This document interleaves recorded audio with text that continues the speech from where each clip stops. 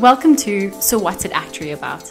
I'm your host, Margie McKechnie, and I, along with my wide array of guests, hope to help you better understand and weather the wonderful world of actuarial science.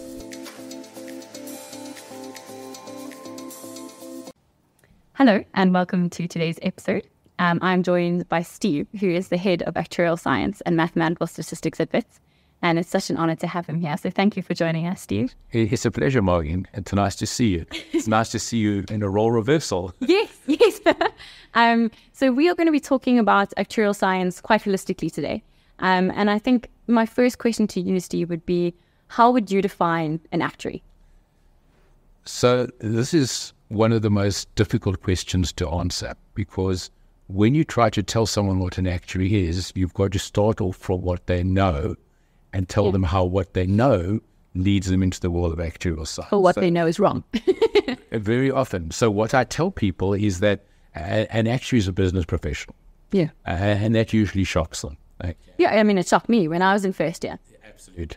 Um, it's a he's a business or she's a business professional who uses mathematical and statistical skills to solve problems. Yeah. Uh, and these problems have uncertainty attached to them and have value attached to them. Yeah. And, and the actuary is the person that in some way acts as an interface between a real world and a modeled mathematical world, mm. and then uses that information to make decisions and to design solutions. And and the actuary effectively therefore has to be a good communicator. She has to be able to interface between people who know they have problems um, and people who can model problems and be that bridge that allows people to get solutions for problems that they have. Now, it could be at an individual level if you're designing individual project products in mm-hmm. life assurance or health insurance or something like that. But it also is at a business level because businesses have the same risks, same challenges, and same value consequences as individuals do. And actuaries are that um, that professional that brings um, some type of solution to uh, an unstructured problem. Yeah. And I think, okay, given that explanation, what sort of person would then be best suited to an act to becoming an actuary or studying actuarial science? Do you think there's like specific traits that you should have to be an actuary, or do you think it's mainly proficiencies that you need? Uh, so I think it's a combination of the two. Yeah. So to start off, I think that one of the big things that you need to have if you want to be an actuary you've got to be comfortable being uncomfortable in an unstructured problem space. Yeah. Some people are really good at solving problems that are sequential, where they can actually have a checklist to say, this is what I have to do, and they can work through it. Yeah. Whereas with an actuary, you've got to impose that structure on the question. So you've got to be uncomfortable in an unstructured problem solving space. Yeah. Um, you've also got to have good mathematical skill. So you're not a mathematician, but you've got to be able to use mathematics in the same way that someone who writes a novel uses English. Yeah. Um, or whatever language they're writing. Yeah. So mathematics is one of the languages of actuarial science, and you've got to be really proficient in mathematics. But don't think that being very proficient in a language, which is mathematics, yeah. means that you'll be an actuary. Same as being very proficient in English won't lead to you being a novelist. You've got to want so, to be a storyteller. Yeah. And so it is, is that as an actuary, you've got to want to solve problems. And you've got to be comfortable not knowing where you are and saying that I will rely on my thinking skills and my tool chest to be able to solve this problem and move it forward. Mm. So great mathematical skills, mm-hmm. okay? Um, comfort in being uncomfortable. Mm. Um, You've also got to have communication skills because yes. you said that you're that bridge. You're this bridge between a real world and a modeled world, which is never reality, but yep. it enables you to make decisions in reality. Yeah. Okay, so you've got to be able to communicate. So we need good language skills. Yeah. And then amazingly, you need resilience and perseverance. Yes. Because the actual journey is one of the toughest journeys that you can go on. Hands down. Absolutely. And if you can't um, handle the knocks in life and get up and carry on, if you don't have that ability and drive to get through, um, it's very difficult to get to the end and become an actuary. Yeah. So I've taught a very large number of people over the years. Yes. And what separates those that are successful from those that aren't is, is not necessarily brilliance, but it's drive and determination. Sure. Uh, albeit we're working with a group of people that are in their own rights already successful, already bright, Yeah. at the top of their In order to even get in the- into the first year class. But the brightest student is not necessarily guaranteed to qualify. And the least bright student could well become an actuary because they've got the drive and the determination, given that, of course, we're in a class of, of high achievers. We're really looking at the top 0.1% of matric leavers. Sure. Sure. And you, uh, you, as we were discussing before this, you've been in actuarial education for 58 years, which is amazing. And you've had obviously seen the profession change. And what would you say are some of the key changes that you have seen sort of filter through?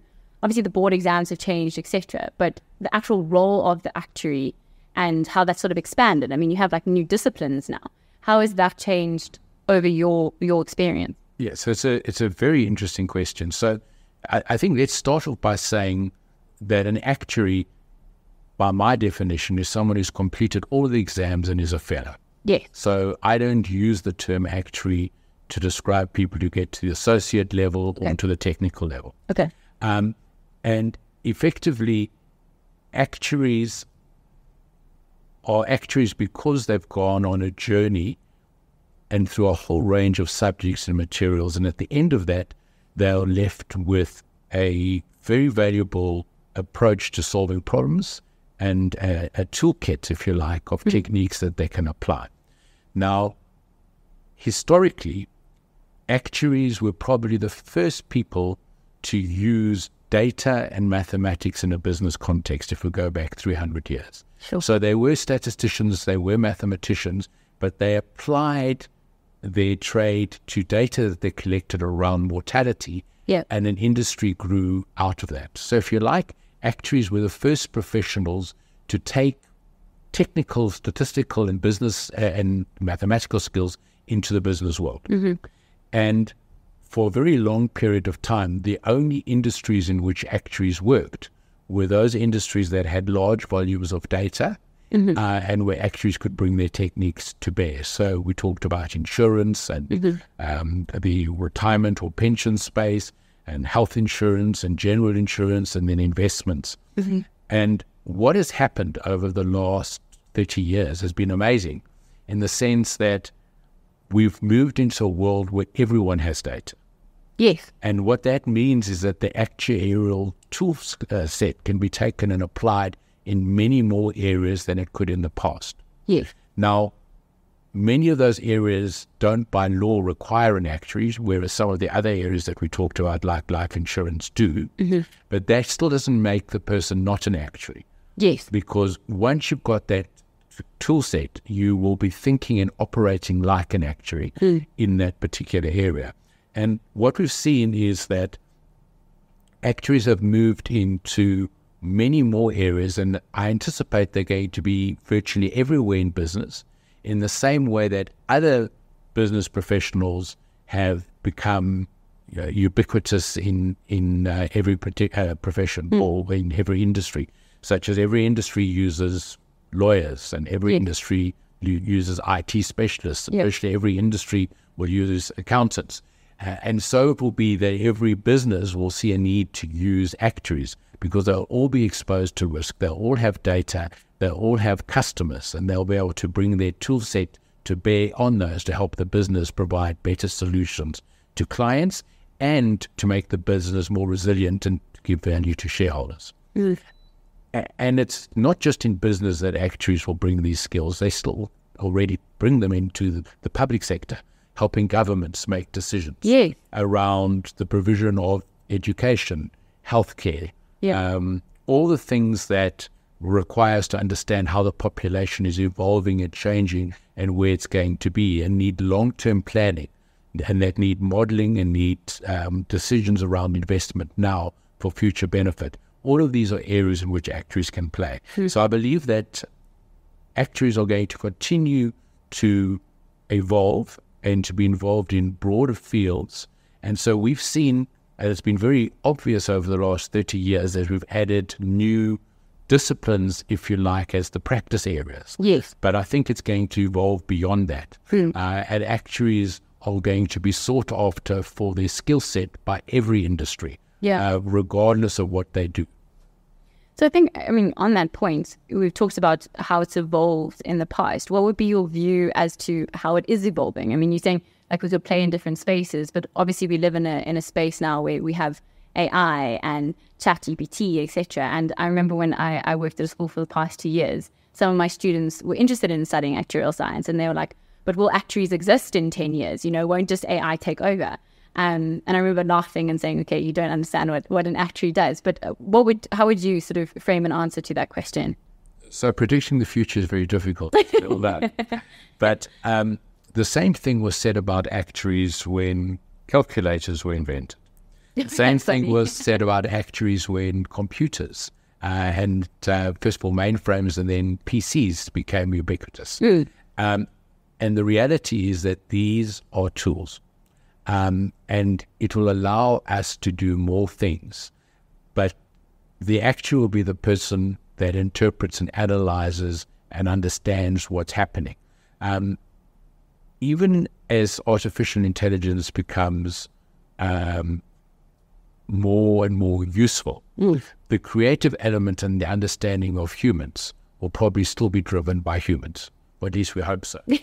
Yeah, yeah. Otherwise, there are going to be very few occupations uh, that, that are We're living like the Matrix. or so, so I don't see, uh, and perhaps it's um, uh, it's because I'm not an expert in artificial intelligence or statistical machine learning, uh, which is really what drives it. But I don't see that the actuary's role will disappear. I see, excitingly, that the actuary will be playing in more spaces and we'll be able to do things faster and have more information uh, for on, on which to operate and, and, and think and, and make decisions and run businesses. So so I'm optimistic that um, the actual profession is is one of those that will benefit from the introduction of more powerful tools rather than be compromised. I think another another question I would have there again, sort of harping back to to thinking about a matric. If they were if they asked you why should I become an actuary, so let's say they're highly numerate, they have the skill set that that sort of indicates that they could get into actuarial science, but they're considering other options as well. Why would you say choose actuarial as a route going forward? So at the end of the day, I don't like to help people make the decision. I like to help them have the information that they need to make the decision. Yeah. So when I speak, and I speak to a lot of matric students, I speak to a lot of grade 11s, um, when when I do the various workshops and talks that I hold for those students, what I try to get them to understand is what an actuary does. Yeah. Um, because most people have no concept what it is. It's just a, a, a name on a piece of paper. Yeah. If you ask them what does a doctor do, they have a much better idea because they've almost all certainly been to a doctor. Yeah, engaged with a doctor, exactly. You don't go to an actuary. You don't go to an actuary other than by chance. yeah, exactly. So what what I try to get them to understand is is what an actuary will do and what are the, the uh, traits, if you like, that a successful actuary needs. Now, I believe that there's a job for every personality type, but at the core, actuaries have to be comfortable working with ambiguity. Yeah. And there are some people who are absolutely brilliant mathematically, but they are much better at a linear type of mathematics. And they might be better in other branches of the mathematical sciences. Yeah. And in that case, I say to the people, what you should do is you should design a first year curriculum that enables you to keep as many options open as possible. Because you won't really know if you like something unless you try it. It's, Yes. it's a bit like the idea of swimming. Mm-hmm. You might look at a swimming pool and you've never been in a swimming pool and it looks wonderful and the water sparkles hmm. uh, and you think this looks like the best thing on earth. Mm-hmm. And you get in and you discover you don't like being surrounded by water. Yeah. Okay. So, what I try to get people to understand is that they're never going to know if they like something necessarily until they try it. Yeah. But if there are certain things that they don't like